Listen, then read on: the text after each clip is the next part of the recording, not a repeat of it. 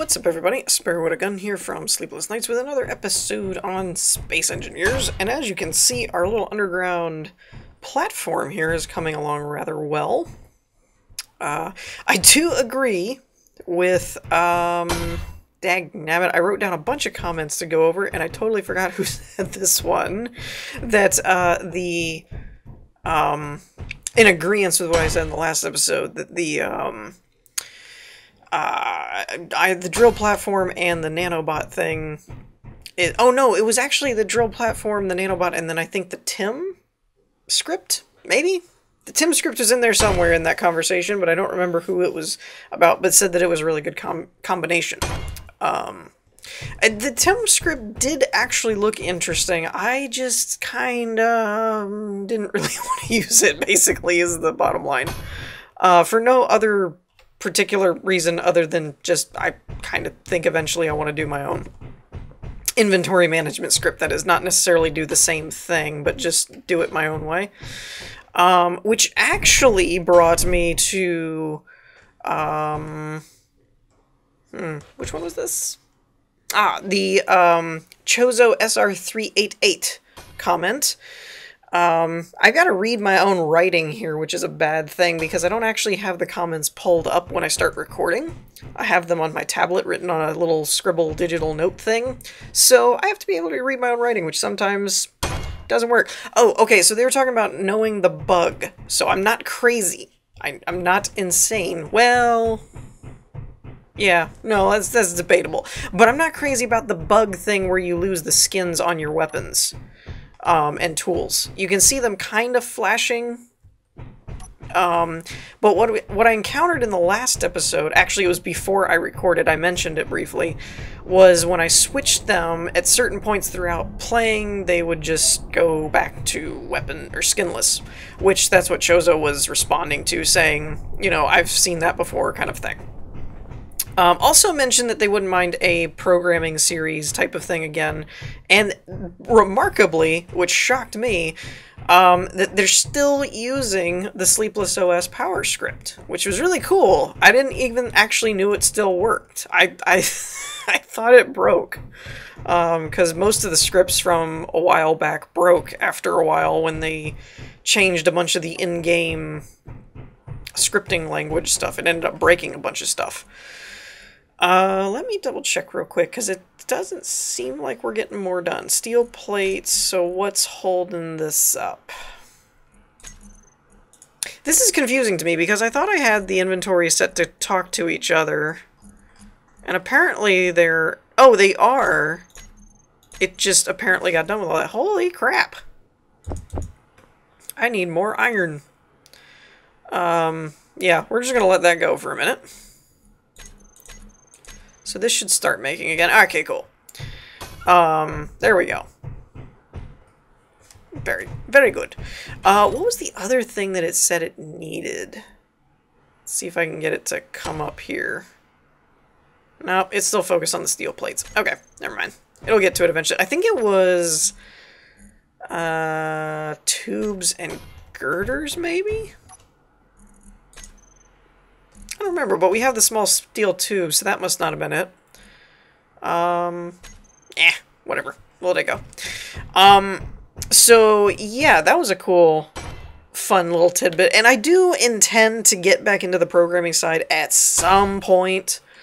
Um, I just have no idea when I'm actually going to have time to, to do it. And I've talked before about wanting to do it a bit more uh, pro polished kind of thing where it's not more of a let's code, it's more of an actual like okay, so here's things that people wanted and we figured out how to do it type of thing. Um and because of that, I don't think I want to be I, I can't really do like an episode of the week kind of way of doing that. It has to be more of a project at a time, and that could take various amounts of time. Um, also, just as kind of an FYI, as far as a behind the scenes, what's been kind of going on, um, I for those of you that don't know that didn't watch my Elite Dangerous episode this week, um, I actually finished the first draft of my book, which is really exciting to me, anyway.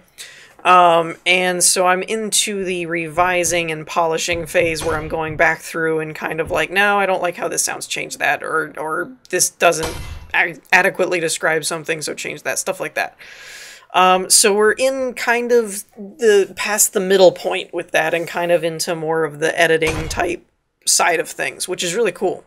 Um, on my on for me as as a developer because it's like hey we actually got a milestone kind of thing like the bulk of it's done um, so that's been keeping me very busy uh, but the other thing is some of you are aware that i've been having off and on issues with my dog's health mainly his foot he keeps getting infections which breed uh, which uh, creates these this sore that keeps coming back on his foot um, so, kind of a quick and dirty explanation of what's going on on that front because it may end up affecting my um, recording schedule somewhat. If nothing else, it will affect just the quality of the episodes. Of there, there might be less cutting things out because I don't have as much time. I've gone over that before, where um, he kind of just obsesses over this sore on his foot. Even though it's not a very severe sore, he just really pays attention to it, tries to lick it, tries to chew on it, that kind of thing, which is clearly, obviously bad for healing things. You know, ripping them back open repeatedly is not a good way to get them to heal.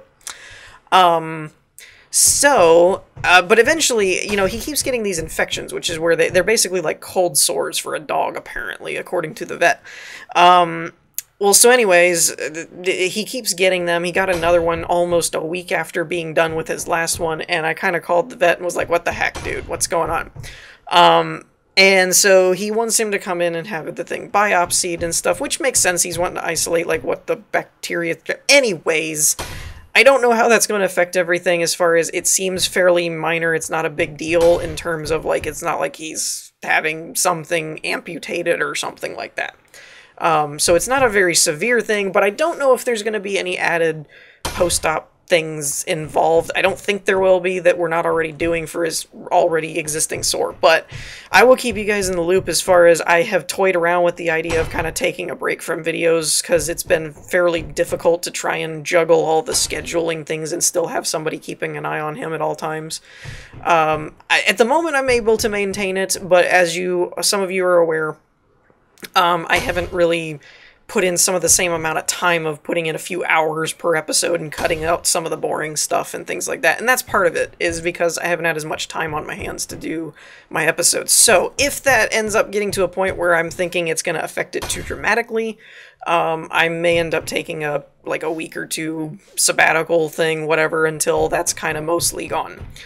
Um, so yeah I'll, but between that and the book stuff and things it's it's been keeping me pretty busy and that's why i've been leery of even entertaining the idea of getting into a more polished programming series because programming for any of you that know have done it whether it's a hobby or a profession it is a time sink.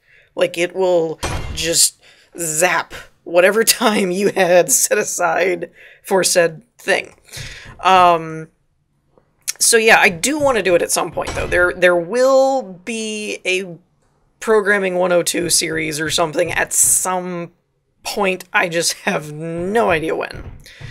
Um so yeah, that that kind of got me on that topic because of Chozo's comment talking about, you know, yeah, I would like another series and I still use this. I was like, "Oh, that's cool," but it it kind of brought up that topic that I wanted to address it, which kind of tied into my current you know haphazard schedule at the moment. Um, so yeah, that's just a quick and dirty update on kind of what's been going on on my end of the woods. Uh, but back to the game here because we're not really getting much done here. Um, Eternal Goat brought up a good idea as far as um, basically kind of trying to mirror what we have up above us. Do I still have my spectator camera up there? Kind of trying to mirror this um, as like a separate platform, the drilling platform being a little separated from the production side kind of thing. Um, and then having this little bridge thing to go along with it. Which I actually do kind of like that idea.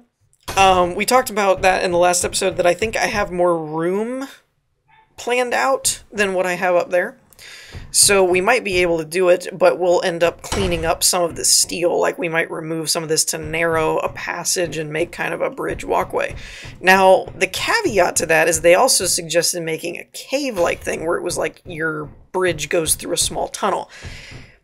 I don't know how to do that in survival. I don't think they have a method for replacing terrain. There's only a way to get rid of it, as far as I know. Um, now, there might be a way to switch the world save over to, like, creative and come in with a pixel uh, or a voxel hand and, and fill it in that way or some using something like, I don't know, maybe even uh, SE Toolbox or something. But if it can be done, I agree. I think that would be cool to have your production area and then a small little cave tunnel with a little bridge, you know, and then you reach the, the drilling platform. I do think that would be a cool idea. Um, now, now, I have a little bit of a palette testing that I, I want to mess around with because I have received some new color suggestions. Between uh, David Schaefer, Duke00X, I'm walking into a wall because I'm reading on my tablet, um, Chozo, and um, Tupanzer, I think is the name. All of them did various different suggestions and conversations on different color suggestions for the the grid, but I kind of want to mess with them because I don't really know what some of these are. Uh, one was 313 and 100 for 100 on this, 100 on that. Oops, wait, what am I doing? Can I just default this? Oh, it did. Okay, cool. Uh, let's pick this. I don't ever use this, so let's do this. So 100, 100, and then 313? Like that? Which I agree. I would probably never use that color. So that's supposed to be for grinding. A, a grind color. yeah, I'm I I can literally think of no scenario where I would I would use that color. I, I completely concur. Um, so that's the grind color that was suggested, and we'll go ahead and use this one right here, or maybe even this one. And this one was 100 100 by 113, I believe. Oh, come on. It's just, it just hates me. Alright, 114, whatever, we're going with it. So this should be the ignore color, was the suggestions. And they're both very bright and vibrant. Probably I will never use them, so I could totally see that as colors. Um, and then uh, Chozo said that the 313, I think, is the same color as the missing texture color, which may or may not be. It doesn't actually have the missing texture logo, because if I remember correctly, the missing texture thing is that black and pink checker pattern, and I don't think... I don't... That might be the same color, but it's not actually the same texture. I wasn't sure if it was a, a color code thing, where if you put in the right code, it gave you the... Um, yeah, the things, the stuff and the things. Uh, so the other suggestion from Two Panzer was to make it 323 instead of 313. I don't know if there's any real difference. Seems like splitting hairs, really, at this point. Um, I mean, they are virtually identical. I really see no difference in it. So, we'll probably just go... Oh, no. Oh, well, whatever. So, yeah. Wait, what? Oh, that was weird. I thought it defaulted. Okay, fine. So yeah, those actually are pretty good color suggestions, and David Schaefer was uh, did agree with me on my last video's comments saying that pink was suggested for the um, the grind color as well. So apparently everybody is in agreement about pink being the grind color. Um, there was another suggestion by by David though to when we got one of those drop pods that brings the skins and stuff to haul it back to um, the base here and let the nanites take care of it, uh, uh, grind it down. That's an interesting suggestion, and it's one that I think would probably work. Um, like it seems like it would work okay. the The only problem I have with it is I don't have a better, a really good method of hauling them back at the moment. I barely got that driller um, running as it is. I mean, as it is, it's still stranded out there because it needs more power. So, um, I haven't really made a good, decent hauling ship type of thing that would make that um, a plausible scenario, I suppose, if you wanted to put it that way. Um, wait, did it already run out of more iron? Good gravy. Still needs 588 panels. Jeez. Okay, now here's the question. Did it run out of iron or did it run out of things to build? Looks like it ran out of iron. Oh no, it's just hadn't pulled it from it. Okay. So in that case, let's just do another thousand. Just screw it. Who cares? Um, and then we'll set this to... I don't know. Just make more. make it the more. Um, so yeah, I'm pretty sure that covers all the comments I wanted to go over. And as for like plans, like I said, I, am not sure how much progress I'll actually be making in each episode because I'll probably be doing a little bit less cutting out um, some of the dull, monotonous stuff because of my current schedule. Well, not not so much schedule, just time. available time would probably be a better phrase. Um, so what I want to see here is this is one, two, three, four, five blocks in width with all of the upgrades on it.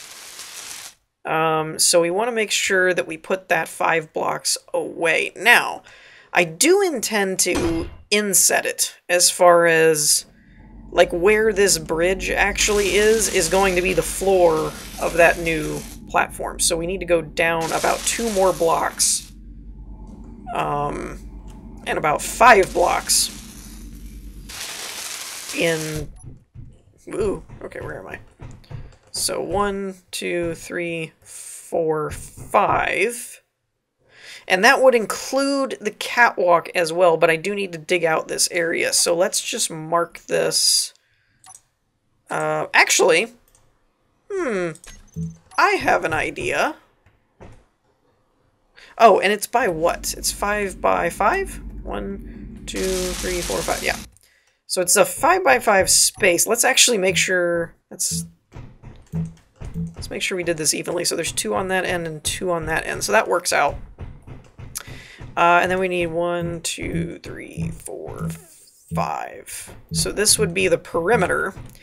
And what's interesting about this is if we did it this way with this color, and then set the grinder to this color, we can actually have the nanobots get rid of this. So that's pretty cool. Um, I'm trying to think if there's anything else we need to do, or if we want to bring this one forward at all so we have a walkway along the back. That could be interesting. Let's do that, because that sounds interesting. So let's bring this forward one. And then we'll grab this color. And that gives us a nice border. So this is going to be where the uh, driller, or not, yeah, the drill platform. I was thinking driller drone, uh, where that's going to be set in. Now, in terms of height, let's see, can I get, no, it's not going to give me the little highlight thing. All right, so roughly these blocks are, not, not roughly, they are two blocks um, yeah. These modules are two blocks high. So this is probably five. And let's go take a look. Probably five in height, I'm thinking. And, and that's going to be a bit of an issue because I did not really account for the height. But I have it. I mean, I can use my jetpack, I suppose. And, um, fly up and, and hollow out a space for it. So this is going to be the actual platform. Oh, I didn't mean to do that. Nope. Dang it. Whoops. One, two... Eh. Three... Four? Oh, it's only four. One, two, three, four. Okay.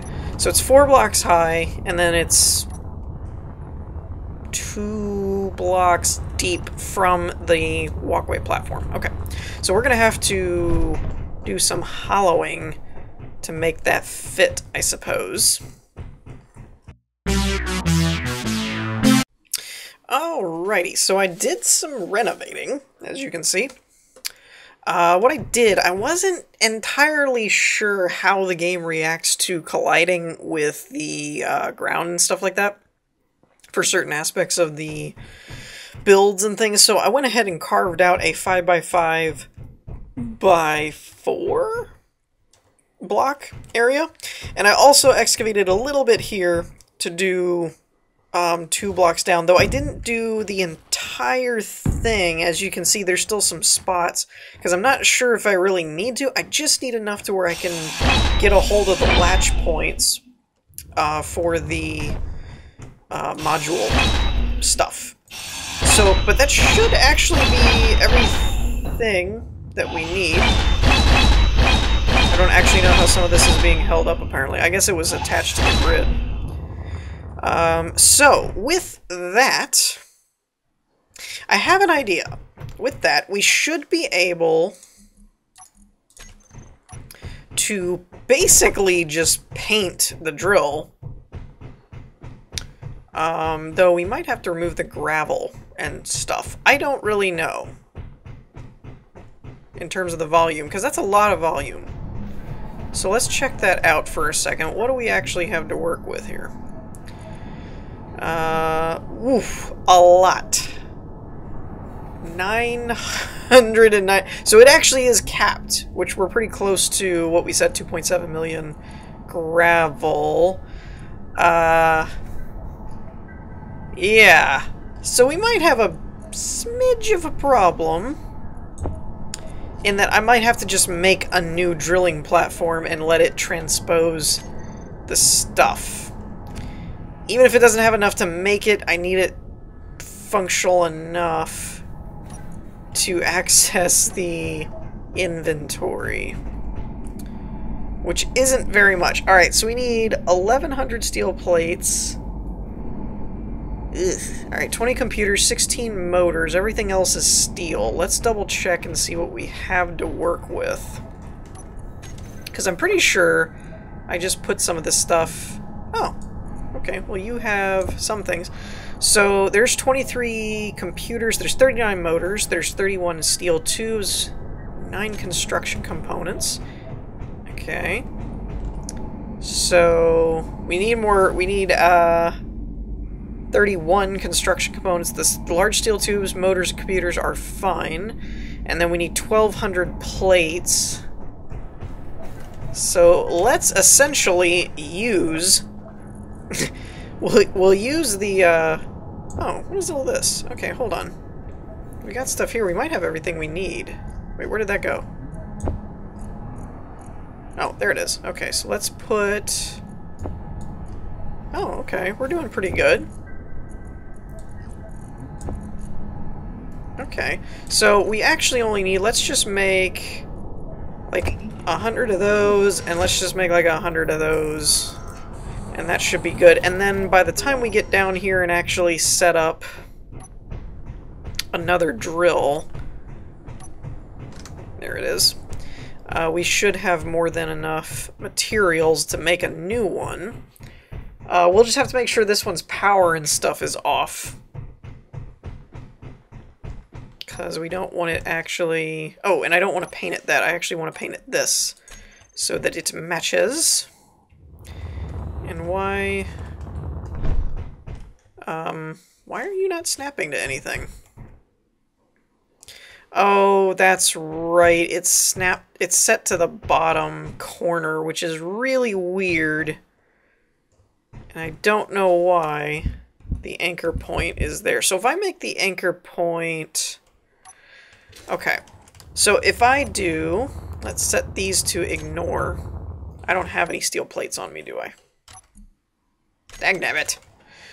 Always being thwarted.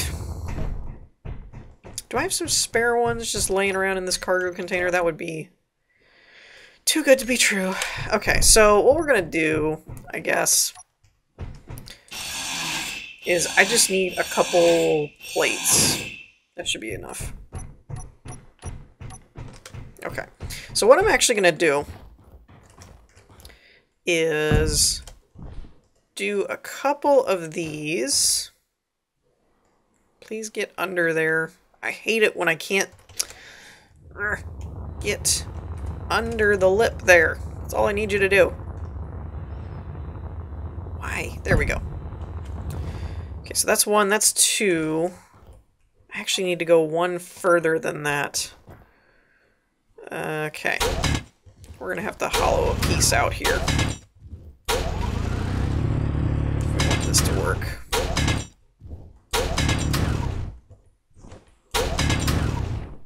Okay. So we'll snap one there whenever the gravel decides to clear out, which would just be lovely. Come on.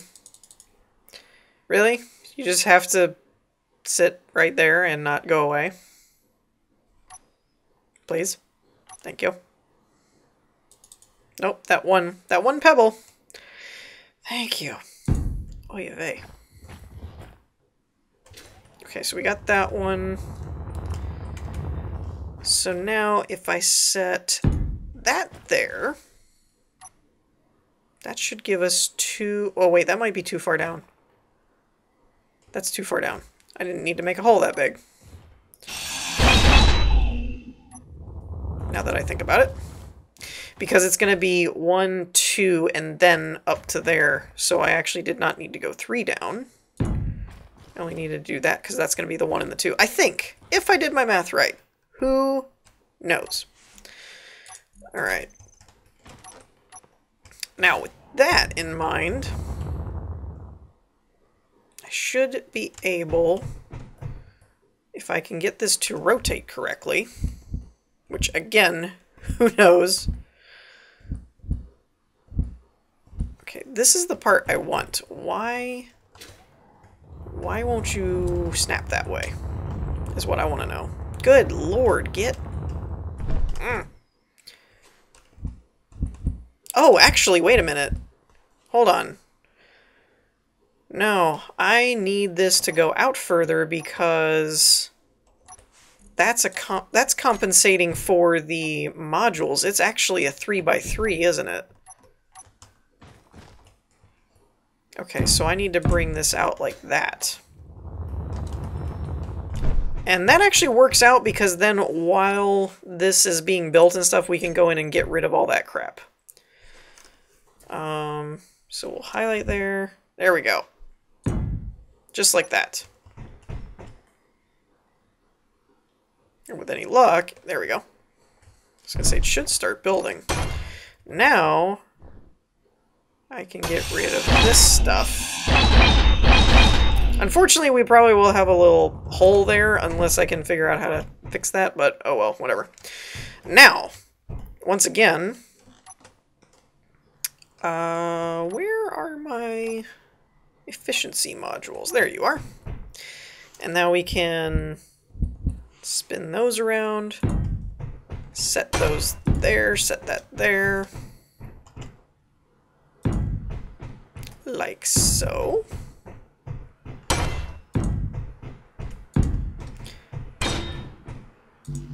Uh-oh. Alright. I need to steal a couple more plates. Oh, that'll work. They're right there. Okay, cool. Now, uh, thing I have to make sure to do is turn off this new drill platform. Oh, it's set to off by default. Well, would you look at that? It read my mind. Alright, we'll set that to cooperative. It is on conveyor, so that works out fairly well. Yeah, I think that'll do good. How's the... Other than a few steel plates, it already repaired it. Sweet. Um, now the issue is going to be connecting the conveyor tubes in such a manner that I can actually transfer all that gravel, unless I just want to do it manually, which, ick. That sounds awful. Um, so more than likely, I will not be doing that. But what we can do is We can probably dismantle some of these power efficiency things. Because um, essentially all we have to do at this point, we could leave this where it is for now, um, and just dismantle these things and bring them down to the lower area. And what that would do is even though this one would have to, or the one down there would have to build up more materials, um, it would allow it direct access once again to the assembler units and stuff like that. So, yeah. One way we can do this, though, just to be fun about it, and see how it works, see if it actually works the way we want it to, is set these to be deconstructed, because that should just break them down, and then let the... Uh, there we go. So that should break those down, and then actually apply it to um, the stuff down in the lower area. So that's pretty cool.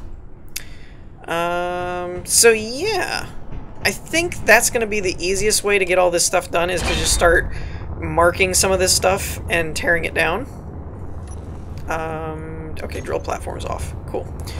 So we'll probably just be doing that kind of stuff and maneuvering and moving different sections in the next episode, I think. We'll probably continue this line of thought. But I think that's going to wrap things up here for this episode. So in the meantime, I hope you all enjoyed. If you did, leave a like, and I will see you all next time. Peace.